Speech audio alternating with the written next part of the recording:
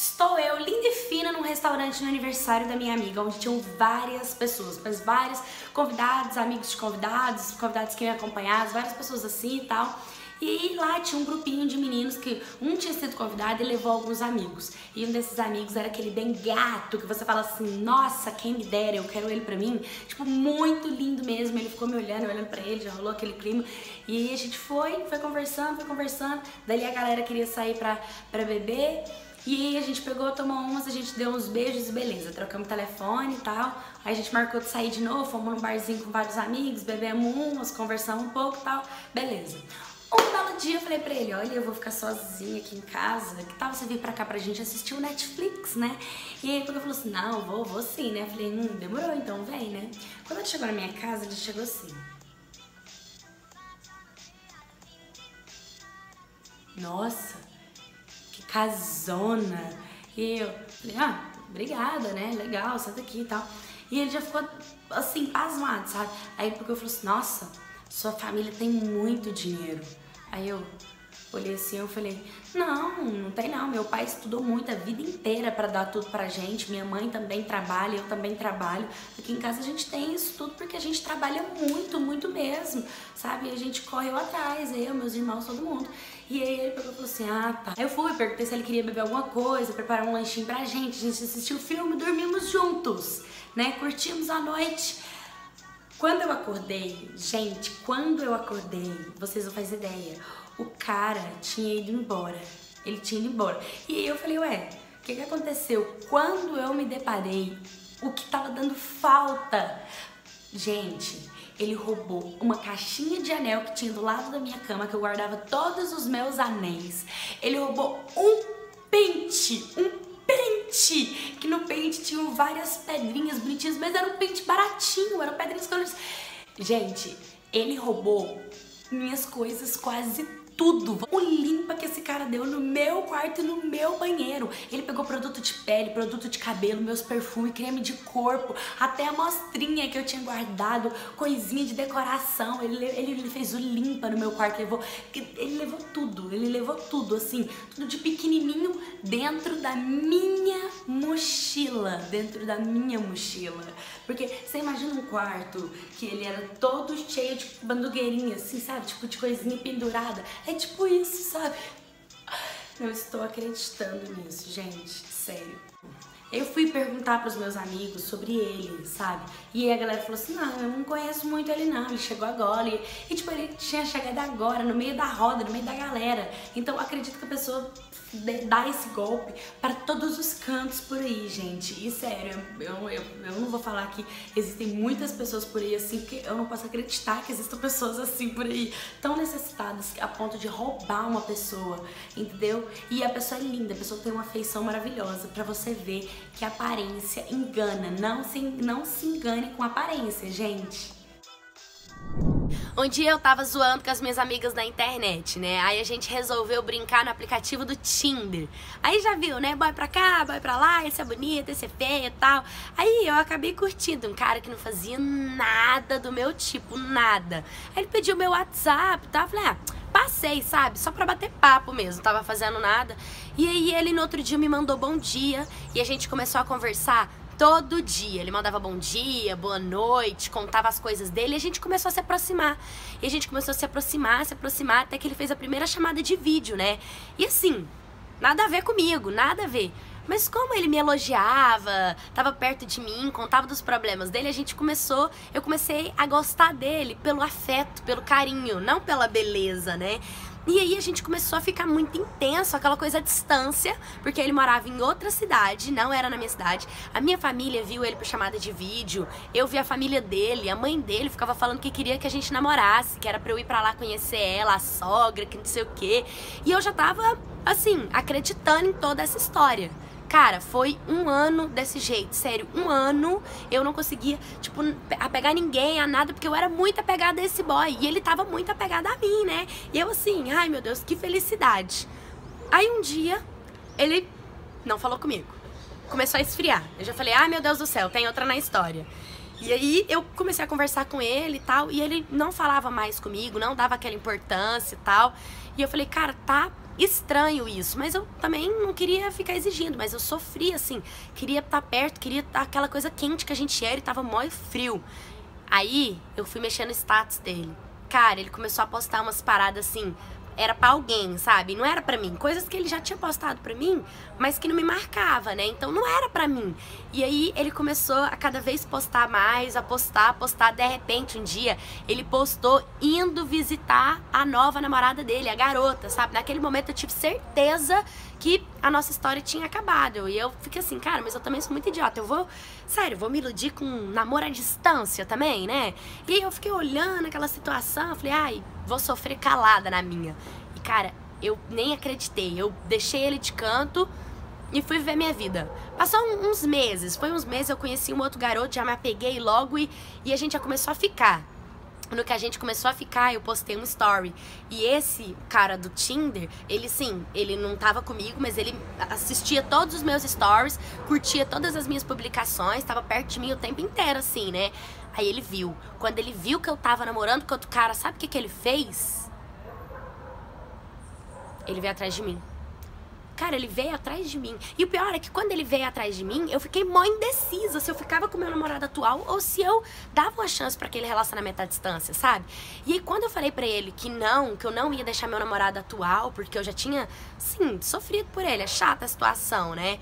Ele não assumiu o relacionamento sério com a garota que ele tava. Olha pra você ver, tanto que tem homem que não vale nada. Tem mulher também que não vale nada. Mas, cara, ou seja, ele tentou me confundir, né, com o meu relacionamento atual. E quando ele viu que não deu certo eu voltar para ele, ele assumiu a menina que ele tava. Ou seja, ele ia enganar eu e enganar ela ao mesmo tempo, né?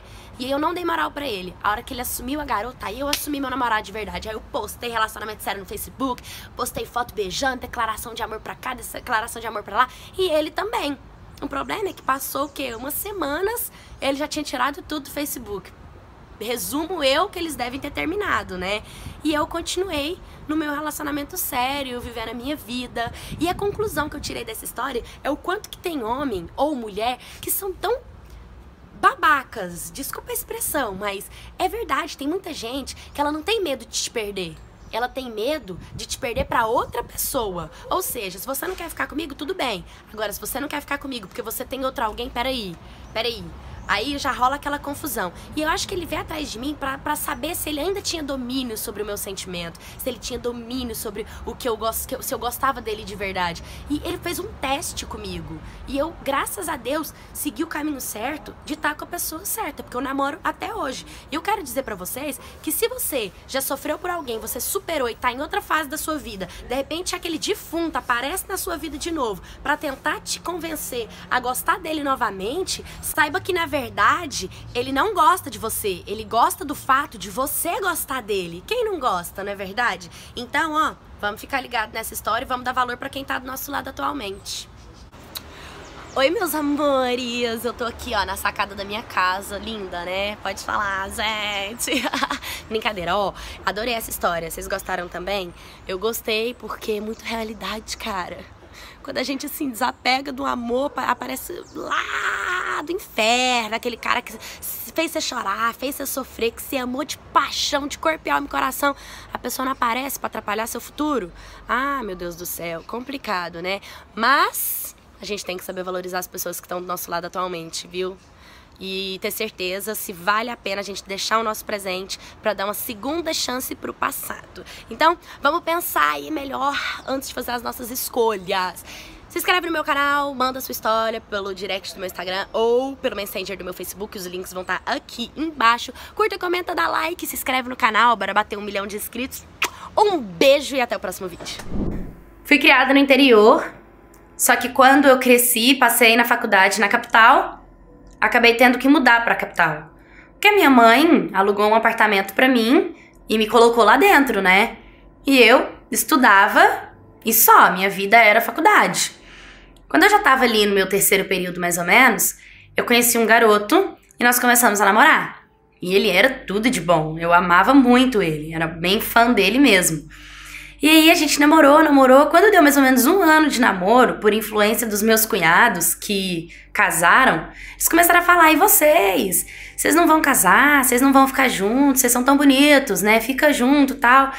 E eu e ele acabou se juntando. Ele veio morar comigo, no caso, ele veio morar no meu apartamento.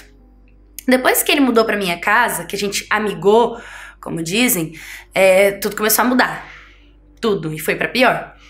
Ele começou a se mostrar extremamente ciumento, sabe? Era da faculdade para casa, da casa para faculdade. Não, não vai tomar café com as suas amigas. Não, você não pode ter amigos homens. Não, você não vai com essa roupa para faculdade. Não, você não vai passar perfume para ir para faculdade. Não, você não vai fazer trabalho na casa de ninguém. Não, você não pode fazer trabalho com homens. Não, se você quiser suas amigas que venham para cá, Entendeu? Eu só podia sair de casa, em supermercado, essas coisas, pra, não, pra ele não encher o meu saco quando ele ia trabalhar. Ele trabalhava das 6 às 10. Então, era das 6 às 10 que eu tinha para fazer as minhas coisas, sabe? Que eu me sentia menos sufocada. E toda vez que ele chegava, como eu gostava muito dele, eu, assim, fazia de tudo para ele, sabe? A casa tava sempre limpinha, tinha sempre comida pronta, comidinha feita na hora.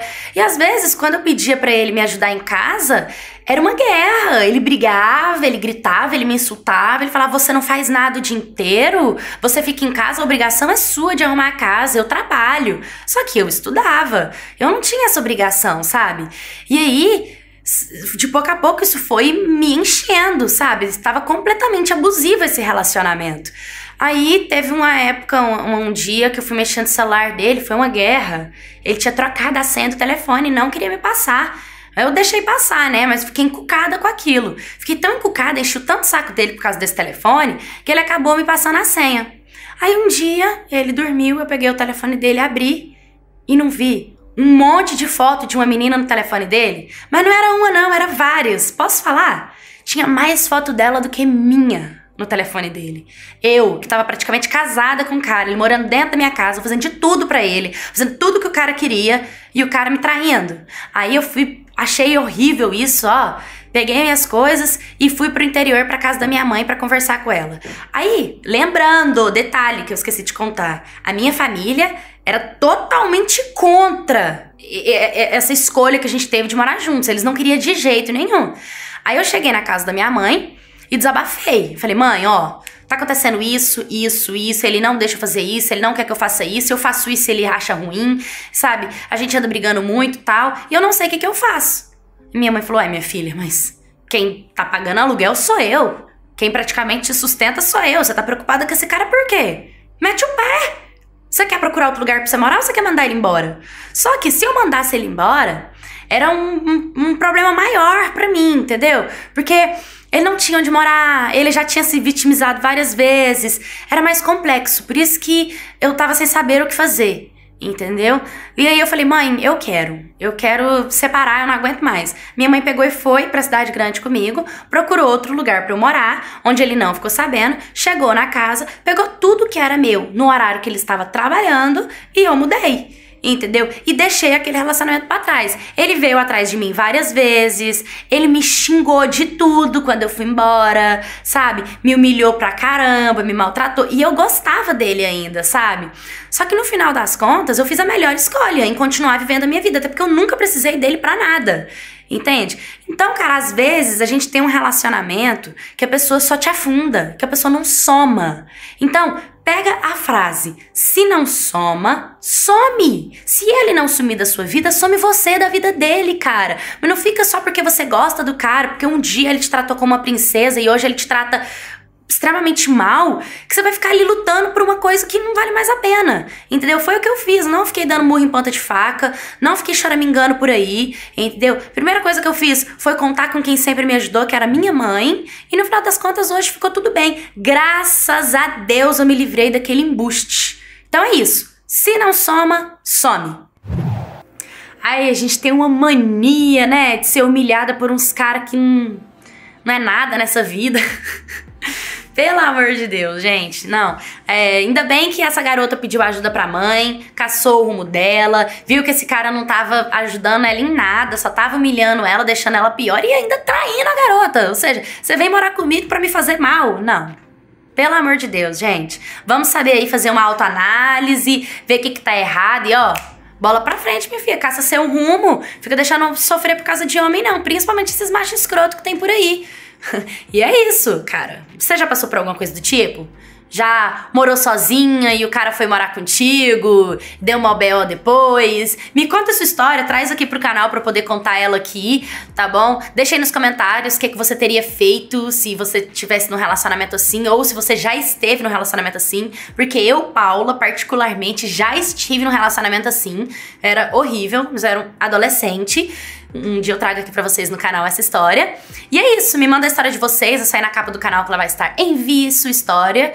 Curta, comenta, compartilha, me segue nas redes sociais. Um beijo e até o próximo vídeo.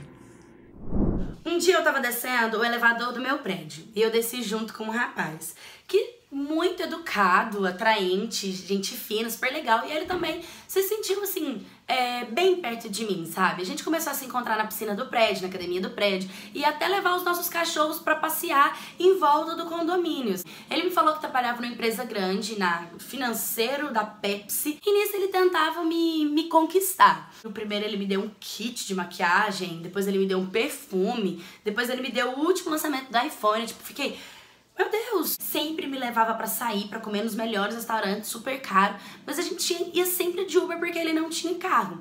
E depois que eu dormi com ele, é, ele me contou algumas coisas como ele morar de aluguel. E eu não entendia, como ele tinha tanto dinheiro, não tinha um carro, uma casa ou alguma coisa do tipo, mas eu nunca questionei isso. Teve um dia que ele me ligou desesperado que precisava de um dinheiro emprestado.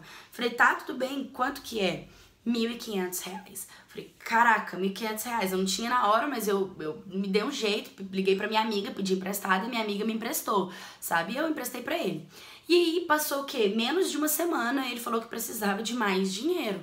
E eu falei pra ele, olha, eu vou, vou tentar con conseguir para você, sabe? Tipo, ele tinha me dado tanto presente caro que eu meio que me senti na obrigação de tentar ajudar arrumar esse dinheiro para ele. E aí ele pegou e eu perguntei, tem alguma coisa que eu não sei que você quer me contar sobre esse dinheiro? Tá acontecendo alguma coisa? E ele falou para mim que o filho dele estava doente. Ele tinha um filho no interior e que o tratamento dele estava muito caro e ele não estava conseguindo pagar sozinho. E aí eu também pensei, poxa, por que, que o cara, em vez de me dar perfume, kit, maquiagem, celular caríssimo, fechado na loja, não, não mandou o dinheiro pro filho dele, sabe? Mas eu também não quis questionar isso. Só consegui o dinheiro e arrumei o dinheiro para ele. E eu trabalhei, sempre trabalhei, trabalhava em loja e sempre ganhei meu dinheiro, sempre tive as minhas coisas. E aí ele, eu falei para ele, olha, quando eu recebi o meu salário, que eu fiquei meses sem receber, eu, eu tento te ajudar, sabe? E foi isso que aconteceu. Passou algum tempo, eu peguei esse dinheiro e eu emprestei para ele. Aí nisso, a minha amiga já tava me cobrando e eu fui comecei a cobrar ele. Falei, olha, pelo menos um pedaço desse dinheiro para pagar ela a gente precisa. Ele arrumou a metade do dinheiro para pagar ela e deu, e eu dei para ela. E o meu amigo, que eu, peguei, que eu peguei o dinheiro emprestado, ele também ficava me ligando e me cobrando. Aí um dia eu tava em casa tranquilamente e o porteiro me liga falando pra eu ir na porta do prédio. Eu falei, tá bom. Quando eu desci, tinha dois rapazes na porta procurando por ele e falou que eu sabia onde ele estava. Eu falei, não, ele tá trabalhando, não faço ideia de onde ele, ele, ele tá no trabalho. Ele falou assim, trabalho? Que trabalho? Ele não trabalha, não. Olha só, se você estiver encobertando ele para ele não pagar a gente, a gente vai acabar com ele e com você. Eu falei, quê? Vocês estão me ameaçando? E eles, ó, foram embora. Nisso eu já fiquei nervosa, já comecei a chorar, já queria ligar pra polícia para resolver com a polícia, sabe? E aí o porteiro falou: calma, respira, espera ele chegar, conversa com ele, e dependendo do que for, aí você chama a polícia. Aí eu fui, fiz plantão na porta da casa dele. Ele chegou: Oi, meu amor, como você tá? Tá tudo bem? O que, que aconteceu? Por que, que você tá aqui? Eu já tava com a cara inchada de tanto chorar por medo daqueles, do, daqueles duas pessoas que foram lá. Aí eu fui falei pra ele o que, que tinha acontecido, que os rapazes foram lá e que falaram pra pagar e o que, que tava acontecendo se ele me contar ou não. Aí ele virou e falou assim: Olha, é o seguinte, eu tô devendo dinheiro para eles, entendeu? E eles estão fazendo isso para fazer pressão. Como que eles sabem do meu nome? Não, eles devem ter visto a gente junto. Eu falei, não, como ele sabe do meu nome? E ele não quis falar, sabe? Ele falou pra eu não me preocupar, pra eu ficar tranquila. Aí eu falei, tá, vou ficar tranquila. Eu não consegui dormir à noite, sabe? Eu fiquei a noite inteira em claro pensando no que poderia acontecer comigo por causa daqueles dois rapazes. No outro dia eu acordei cedo e fui na delegacia. Quando eu cheguei na delegacia, eu peguei e pedi para puxar a ficha do nome dele, porque pelo menos isso ele, ele falou a verdade, o nome dele. E adivinha? Ele tem sete passagens pela polícia. Estelionatário, sabe o que é isso? Criminoso, que rouba, que te faz de amigo para te passar a perna, o pior bandido que existe. Eu fui, já denunciei ele pra polícia, já, sabe? E ele tava me ligando na hora, eu falei pra ele, olha só, eu descobri quem é você, você não presta. Xinguei ele de tudo, sabe? Falei, eu vou te denunciar pra polícia, fiz um boletim de ocorrência, aconteceu alguma coisa comigo, eles vão atrás de você.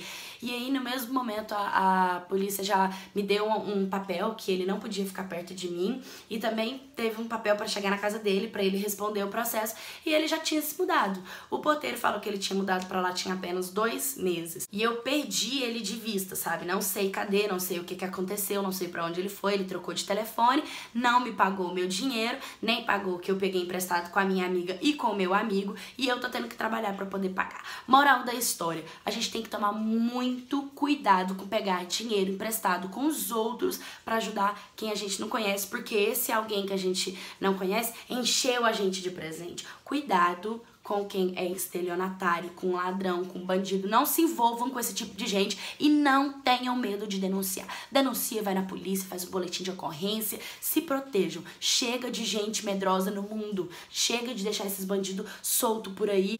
Então, tomem muito cuidado com isso. É, eu conheci um menino no meu bairro e a gente tava conversando muito. Aí a gente acabou ficando.